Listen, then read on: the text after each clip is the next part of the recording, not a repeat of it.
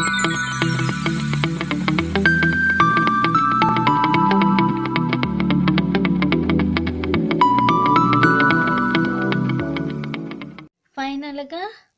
చుక్కకూర పకోడీ రెడీ అయిపోయిందండి.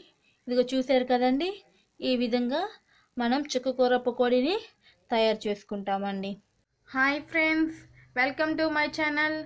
అమ్మ నేను వంటిల్లు. ఈరోజు మా అమ్మగారితో నేను మీ ముందుకు వచ్చేసాను. ఈరోజు మా అమ్మగారు చుక్క కూర పకోడీ చేస్తున్నారు. దానికి కావలసిన పదార్థాలు తయారు చేసే విధానము ఇప్పుడు చూద్దాము. ముందుగా కావలసిన పదార్థాలు. ఆయిల్ నూనె డ్రీ ఫ్రైకి సరిపడినంత తీసుకోవాలి.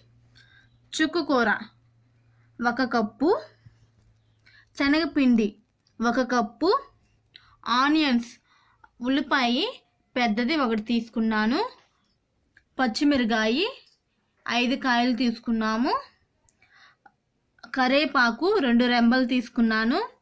సాల్ట్ తగినంత.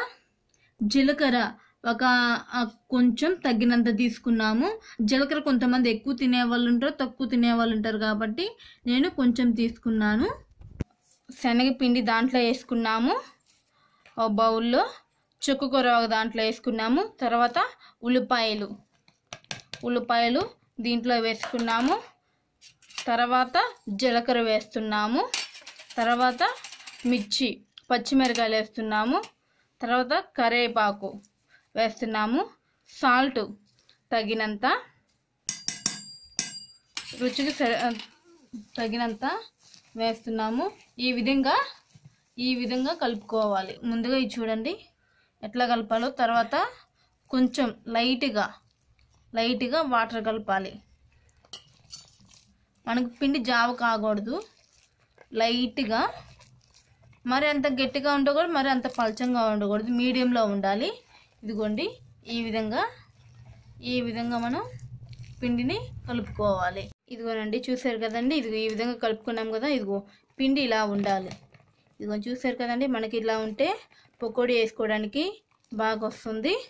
ఇక కడాయి పెట్టుకొని స్టవ్ ఆన్ చేసేసి సిమ్లో పెట్టుకొని ఇప్పుడు నూనె దీంట్లో పోసుకుంటున్నాము.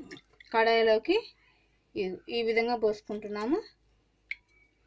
చూసారు కదా ఈ విధంగా ఈ విధంగా నూనె కాగుతుంది. ఇంకొంచెం కాగాలి. కాగిన తర్వాత మనం ఇప్పుడు కలుపుకున్నాం కదండి ఆ పిండిని. ఆ పిండిని దీంట్లో వేసుకుంటాము. సిమ్లో పెట్టుకొని ఆ పకోడీని ఈ విధంగా వేసుకోవాలి. అనొస్తుందండి ఇదిగో ఈ విధంగా సిమ్లో పెట్టుకొని వేసుకోవాలి.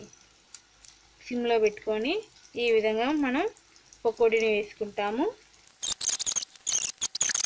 ఈ విధంగా మనం బౌల్లోకి తీసుకుంటున్నాము. చూడండి అదిగో వేగింది కూర పకోడీ రెడీ అయిపోయింది. చూడండి. ఫైనల్గా చుక్కకూర పకోడీ రెడీ అయిపోయిందండి.